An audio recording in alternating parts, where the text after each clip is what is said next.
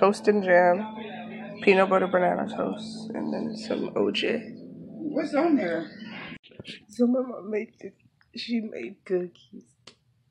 I probably was so bad I started crying. My eyes are red. I wanted cookies so bad, but I can't have one.